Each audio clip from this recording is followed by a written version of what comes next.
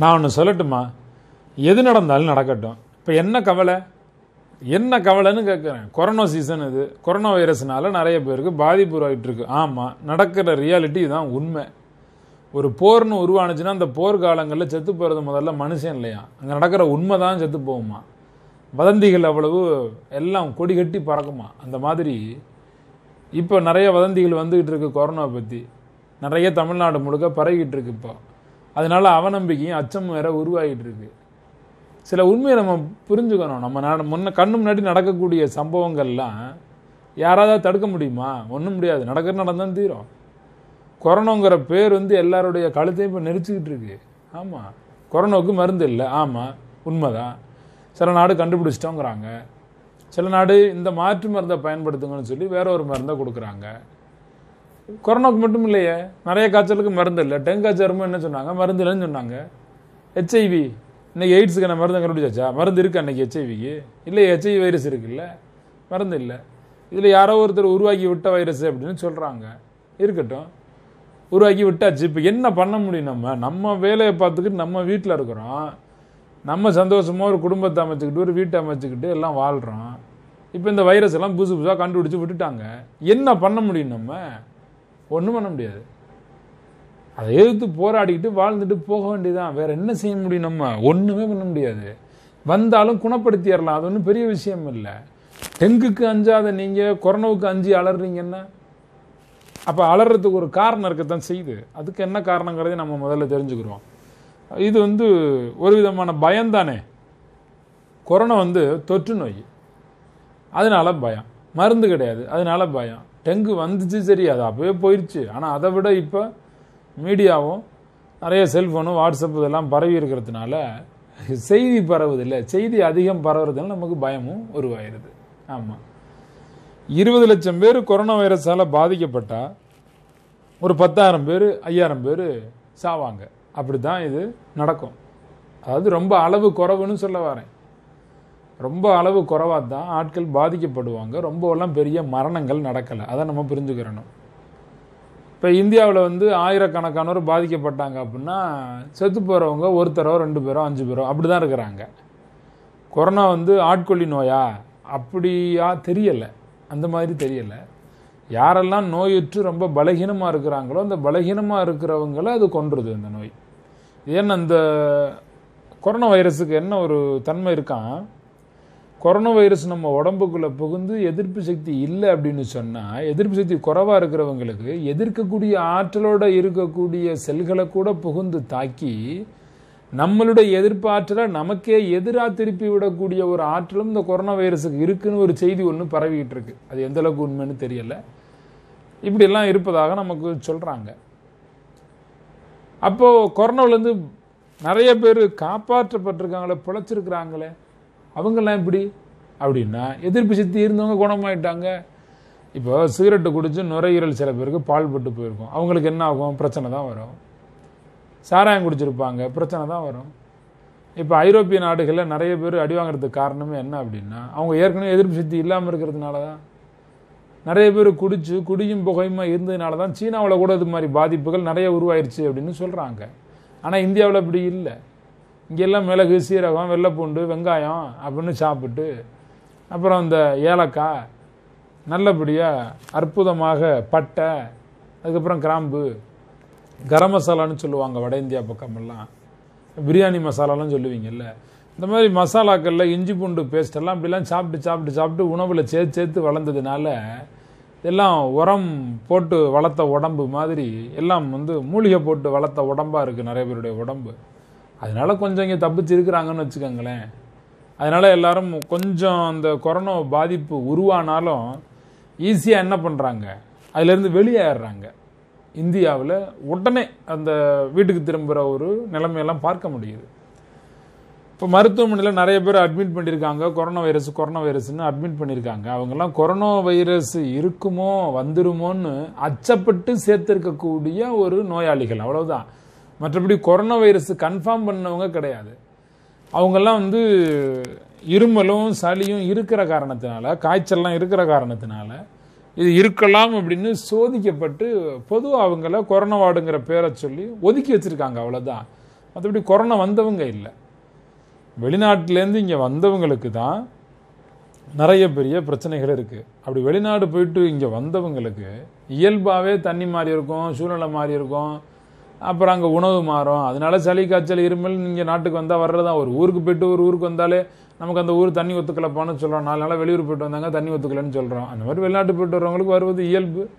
இந்த மாதிரி தான் நிறைய பேருக்கு இருக்குது அதனால அவங்களெல்லாம் என்ன பண்ணுறாங்க ஒரு தொண்ணூறு சதவீத பேரை வந்து இது தொத்துறது இயல்பு தான் அதாவது தொத்துறதுன்னு எதை சொல்கிறேன் நான் கொரோனாவை சொல்லலை. இருமலும் இந்த காய்ச்சலும் வர்றது இயல்பு தான் அதாவது வெளிநாட்டுக்கு போயிட்டு வந்தாக்க. அது இயல்பு தான் இப்படிப்பட்ட ஒரு சூழ்நிலை இருக்கிறதுனால தான் அவங்களெல்லாம் என்ன பண்ணுறாங்கன்னா சந்தேகிக்கப்பட்ட கேஸாக வந்து ஒதுக்கி வச்சிருக்கிறாங்க.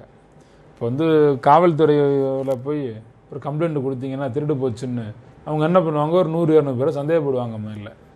சந்தேகப்பட்டு அதுக்கப்புறம் விசாரணை ஆரம்பித்து அதுக்கப்புறம் கண்டுபிடிப்பாங்க. அந்த மாதிரி வெளிநாட்டுக்கு போயிட்டு வந்தவங்களுக்கெல்லாம் இருக்குமோங்கிற ஒரு சந்தேகத்தில் அவங்கள ஒதுக்கி வச்சுருக்குறாங்க. அவ்வளவுதான். ஆமாம் இது வாரி சுருட்டிக்கிட்டு போயிருமா அந்த நோய் அப்படின்னா அப்படிலாம் போகாது. பலவீனமானவர்களுக்கு இது ஆபத்து. மனபலவீனம் உடல் பலவீனம் உள்ளவர்களுக்கு. அப்போ அந்த எதிர்ப்பு சக்தி அதிகப்படுத்திக்கணும் அப்படிங்கிற நோக்கத்தை தான் நம்ம இப்போ உருவாக்கணும். ஆமாம் இதனால சிகிச்சை நிறைய பேர் கொடுத்துக்கிட்டு இருக்கிறாங்களே. இதனால சிகிச்சை எடுத்துக்கும் பொழுது மனபயம் உருவாகுமா?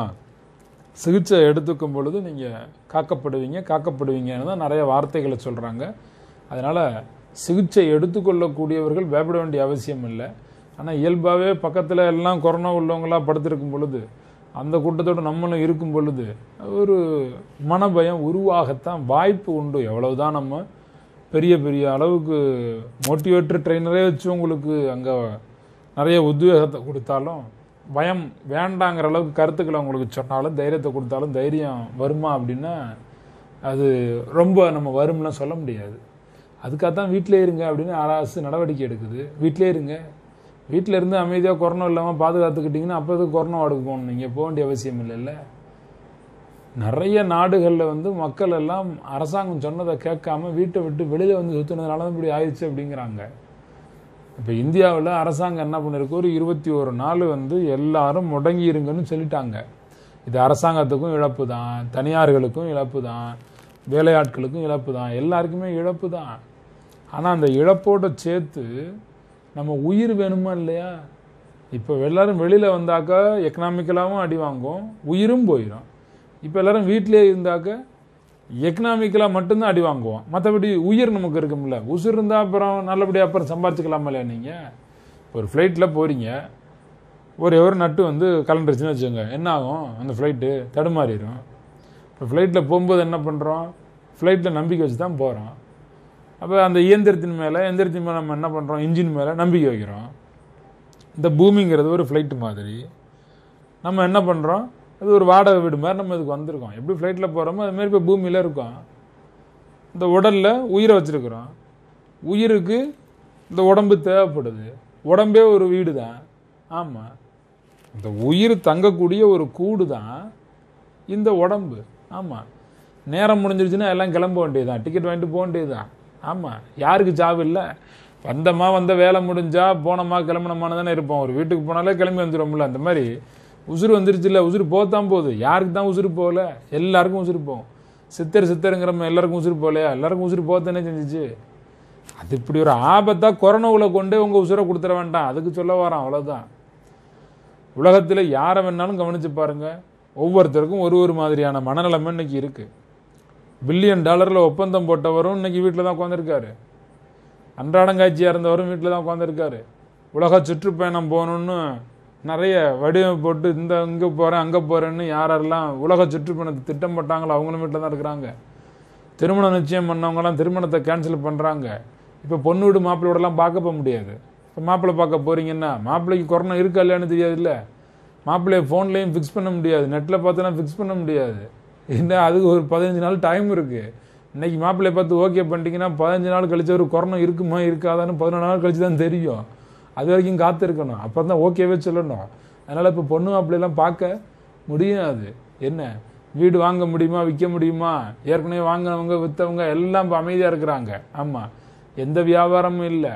ஆட்சி அதிகாரங்கள் ஆட்சி எதுவுமே நடக்கலை. ஆட்சி நடக்கிறதுன்னா இந்த கொரோனாவுக்கு எதிரான ஒரு யுத்தமாகத்தான் அதை நடத்திக்கிட்டு இருக்கிறாங்க. மற்றபடி ஆட்சிகள் வேற எதுவுமே செய்யலை. அரசாங்கங்கள் வேற எந்த செயலையுமே இப்போ செய்யலை.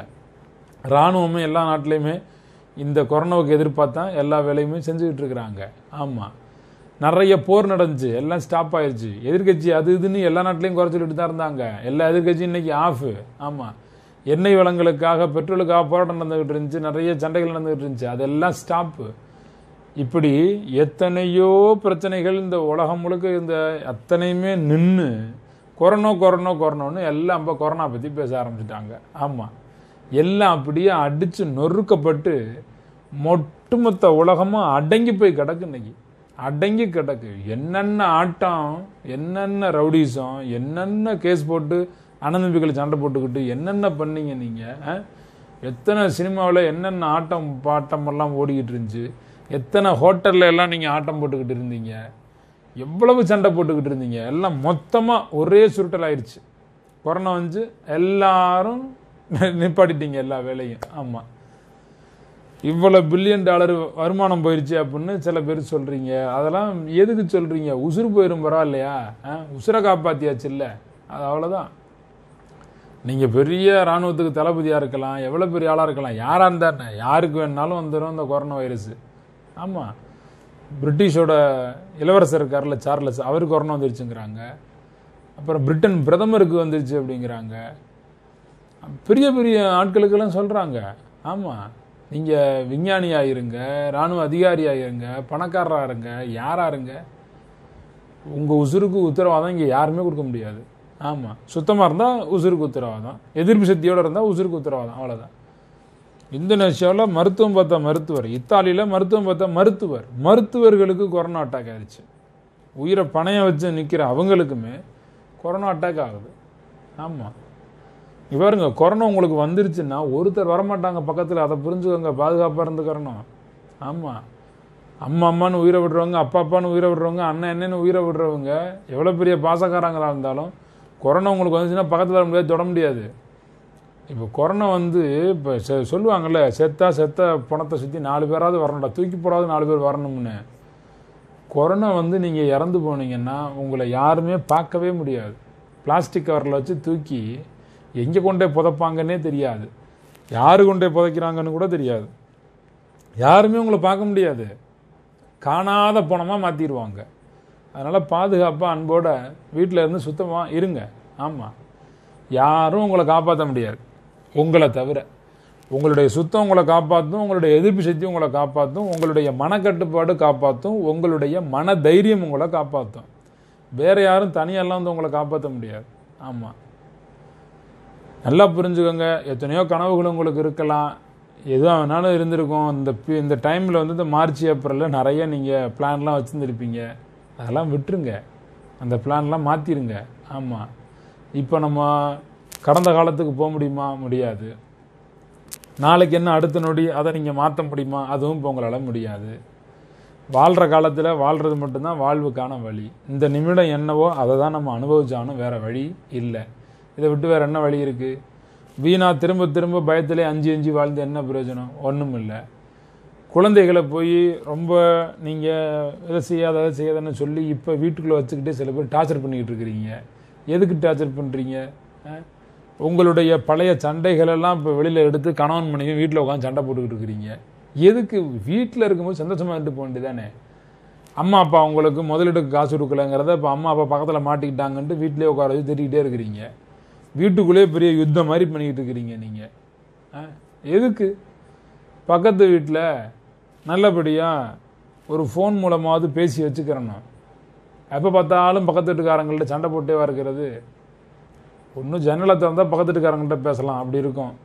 இல்லை பக்கத்து வீடு ரொம்ப தூரத்தில் இருக்குது அப்படின்னா ஒரு ஃபோன்லையாவது பேசி நல்லபடியாக பேசி பழகி வச்சுக்கோங்க. நமக்கு ஏதாவது ஒன்றுன்னா வந்து நிற்க போகிறது அந்த மாதிரி ஆட்கள் தான்.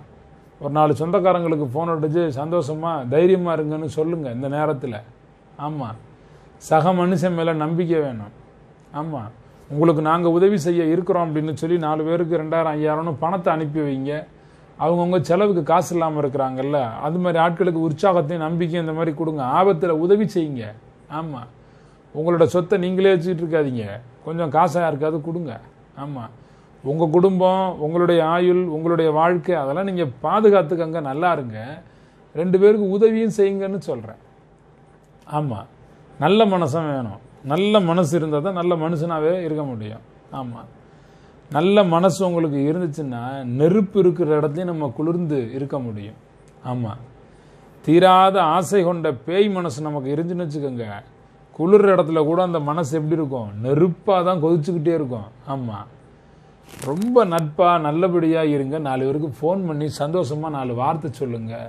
ஆமாம் இப்போது மரமெல்லாம் பாருங்கள் எவ்வளோ நல்லா இருக்குது விலங்கெல்லாம் பாருங்கள் எவ்வளோ நல்லா இருக்குது மனுஷன் மட்டும்தான் இன்னைக்கு வீட்டுக்குள்ளே அடங்கி போய் கிடக்குறான்.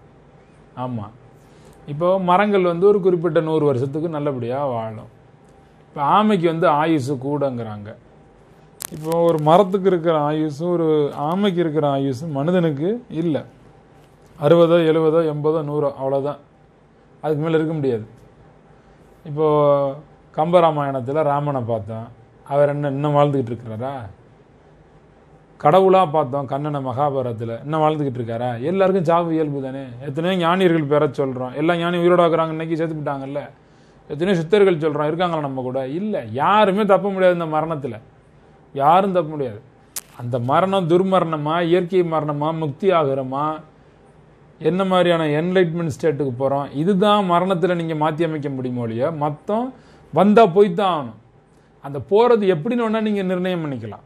யாரும் தப்பிக்க முடியாது மறையிறதுலேருந்து. இந்த உலகத்தில் நீங்களும் தப்பிக்க முடியாது நானும் தப்பிக்க முடியாது. இது அவன் படைச்ச உலகம். அவன் கொடுத்த கூட்டுக்குள்ளே நம்ம எல்லாரும் உட்காந்துருக்குறோம் அவன் ஆடுறது தான் ஆட்டம். அவன் இடுவது மட்டும்தான் கட்டளை. ஆண்டவன் கொடுக்கறது மட்டும்தான் கட்டளை. அதனால் அதை மாற்றக்கூடிய சக்தி உங்களுக்கும் இல்லை எனக்கும் இல்லை யாராலையும் முடியாது. அடுத்த நொடின்னு ஒன்று இருந்துச்சுன்னா அதை பகவான்கிட்ட கொடுத்தரணும். அது ஒன்று தான் நிம்மதியான வழி. எது நடந்தாலும் சரி நடக்கட்டும். எல்லாம் இறைவன் கொடுத்த வழின்ட்டு பேசாமல் இருக்கணும். அவ்வளோதான் உங்களுடைய அச்சம் மன பயம் இருக்குல்ல அதுதான் உங்கள் உயிரையே கொல்லும். பாம்பு கடிச்சு சாகிற ஆளை விட பாம்பு கடிச்சிருச்சு அப்படின்னு பயத்தில் செத்தவங்க தான் நிறைய இருக்கிறாங்க. அதனால அச்சம் அப்படிங்கிறது ரொம்ப கொடுமையானது. கொரோனா வந்து செத்ததை விட வந்துருமோ வந்துருமோன்னு பயமால நிறைய பேர் செத்துக்கிட்டு இருக்கிறாங்க. வந்த உடனே செத்துருமோ செத்துருமோன்னு பயந்து செத்துக்கிட்டு இருக்கிறாங்க. என்ன? அதனால இதெல்லாம் ஒரு பெரிய விஷயம் இல்லைன்னு நீங்கள் நினச்சி இதெல்லாம் ஒரு சாதாரண விஷயம் நினச்சி நம்பிக்கையோடு இருந்தீங்கன்னா எல்லாம் குணமாகுங்கிறத நீங்கள் நினச்சிக்கோங்க. இப்போ நம்பிக்கையோடு இருந்துக்கிட்டு குணமாகும் நினச்சி நான் வெளியில் போகிறேன் சீக்கிரம் இழுத்துட்டு வரணும் எழுத்து வரக்கூடாது. அது முட்டாள்தனம். வெளியில் போய் நான் சீக்கிரம் எழுத்து வரேன் எனக்கு தான் குணமாயிருமே அப்படின்னா இது இது ஒரு இது நல்ல நம்பிக்கை இல்லை. வந்தால் சரியாகும்னு நம்புங்க. வராமல் இருக்கிறதுக்கு என்னென்ன வேலை பண்ணுமோ அதை செய்யுங்க அவ்வளோதான் யாருக்கு கொரோனா வந்துச்சோ அவர்களுக்கு தான் இந்த விஷயத்த சொல்கிறோம் நம்பிக்கையோட இருங்க குணமாகும்னு. நீங்கள் வர வச்சுக்கிட்டு குணமாகும் குணமாகும்னா இது இது அர்த்தமா அது. இது நல்லா இல்லை. இந்த அந்த மாதிரிலாம் யோசிக்காதீங்க. ஆமாம் எதுவுமே நம்பிக்கை தான். ஆமாம் முடிஞ்சிச்சுன்னா இந்த பேப்பர் படிக்கிறது டிவி பார்க்குறது இதெல்லாம் வந்து செய்யாதீங்க.